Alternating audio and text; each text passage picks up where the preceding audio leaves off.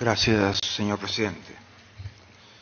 Señor presidente, el tema Venezuela es un tema que dividió durante mucho tiempo la organización. La dividió de la peor manera, con lógicas de confrontación que no queremos que se repitan. Fue muy costoso para la organización y hoy debemos evitar a toda costa que eso se repita en el futuro.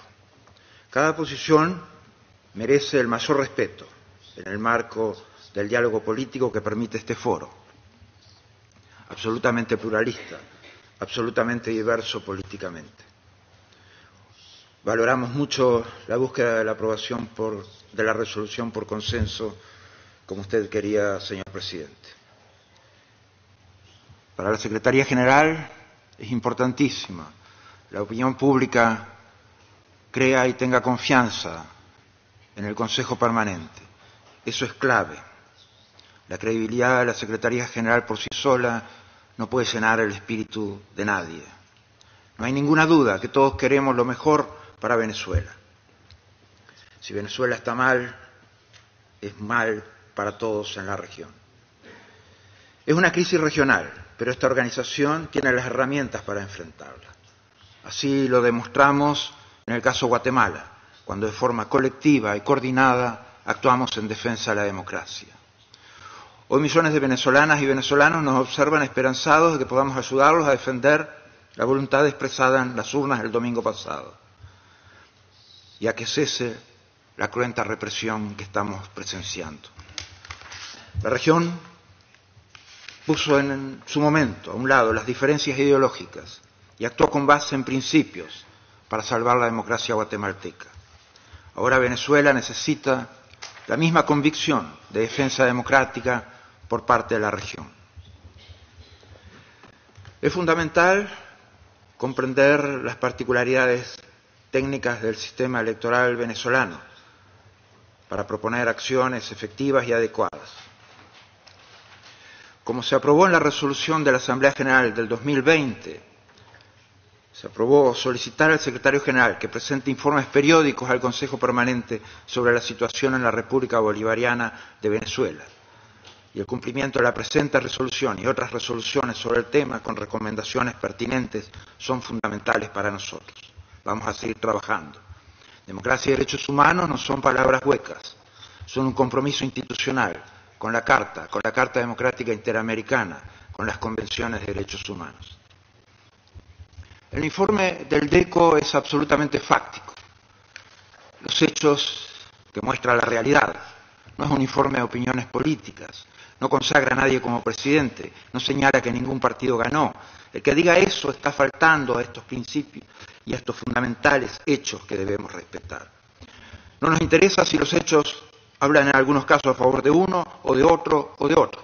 Ustedes han visto hechos presentados por el DECO que a veces afectan a la izquierda, a veces afectan a la derecha, a veces afectan al centro.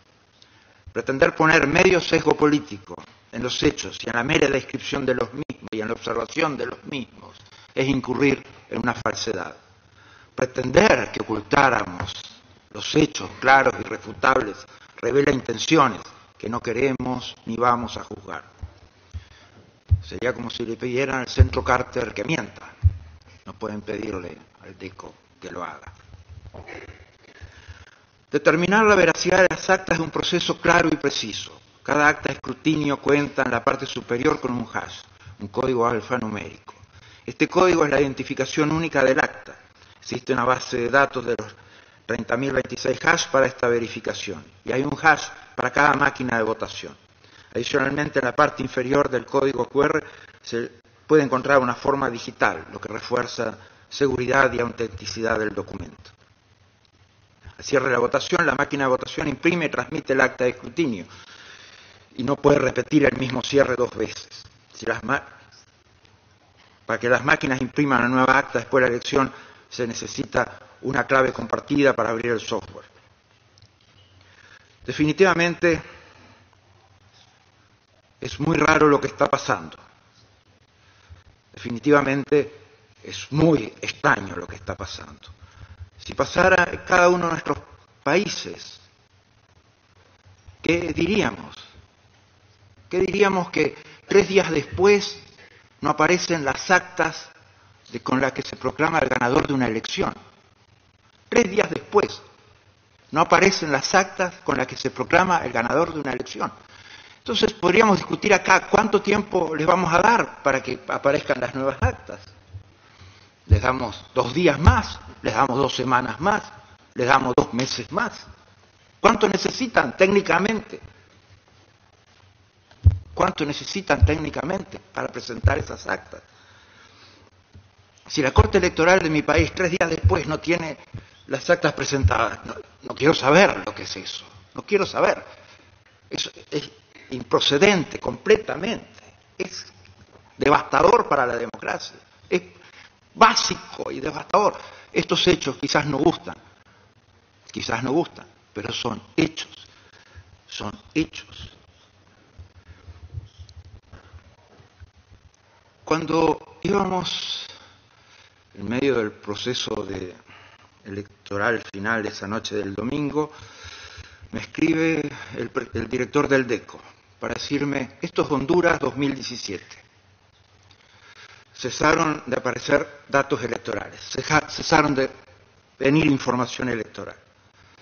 Hace poco, alguien lo recordaba, en 2017 Honduras sufrió un fraude electoral y señalaba el, eh, señor eh, Luis Elaza, que fue el primero en reconocerlo y dar un paso al costado cuando a través de la organización se demostró ese fraude. Y gracias por la referencia hoy a nuestro pedido de reiteración de la elección, como lo hizo en ese momento la organización. El apagón electoral en ese momento duró toda la noche. El anterior récord es de 23 horas, un hecho irrefutable también, presentado oportunamente un informe que nunca tuvo un solo hecho refutado también, a pesar de ser muy largo el informe. Prácticamente se mantiene incólume, no importa cuánto ataque hace. Pero esto es un récord de apagón de transmisión, un récord de tres días, de tres días. Es récord absoluto. Tres días sin aparecer las actas, tres días sin aparecer ninguna transmisión de resultados. Es el récord absoluto. La autoridad electoral debe publicar a la brevedad posible el 100% de las actas electorales. Es urgente y preocupante que el organismo electoral no las haya publicado todavía. La falta de publicación representa una actuación irresponsable por parte del Consejo Nacional Electoral, constituyendo una negligencia en el desempeño de sus funciones y contraviniendo los principios de publicidad y transparencia. Es raro que un organismo electoral no tenga las actas, como señalé hoy. El tema es que las actas están costando vidas. En 48 horas van 17 asesinados cuánto tiempo más les damos, vamos a dar para que aparezcan las actas, o sea, cuántos muertos más necesitamos para que aparezcan las actas. Se deben considerar, obviamente, las actas de escrutinio que fueron entregadas a los testigos electorales y miembros de mesa, y que cuentan además con la verificación ciudadana en el escrutinio. Estas actas fueron publicadas en un portal web. Obviamente han habido otros ataques un patrón de persecución a los testigos de mesa, que están siendo encarcelados ahora, mientras nosotros hablamos. Los testigos de mesa encarcelados. ¿Qué democracia aguanta eso? ¿Qué, democracia hay acá que pueda mirar a los ojos y diga, aguantamos eso? Siempre va a haber gente que no querrá que se presenten estos hechos. Y quizás nos ataquen por eso incluso. Yo debo decirles que mi corazón es enorme, que en él caben todos, los que me han hecho daño, los que me quieren hacer daño, los que querrán hacerme daño. A todos les pagaremos con amor y magnanimidad. También quiero decir que teniendo en cuenta el estado de investigación de la Corte. Es el momento de la misma de presentar cargos de imputación contra aquellos más responsables, incluyendo a Maduro, quien cándidamente expresó sí mismo, se expresó en el sentido de dirigir la instrucción de la implementación de la represión. Maduro anunció un baño de sangre, lo cumplió, lo está cumpliendo, 17 muertos. Reconozco que fue algo que impresionó cuando lo dijo. Reconozco que es algo que me impresiona mucho más cuando lo está haciendo. Hay premeditación, alevosía, impulso brutal, ferocidad, ventaja superior, ventaja superior. Es hora de la justicia y nosotros vamos a solicitar la imputación de esos cargos con orden de aprehensión y todos aquellos que quieran hacer referat del caso son bienvenidos. Muchas gracias.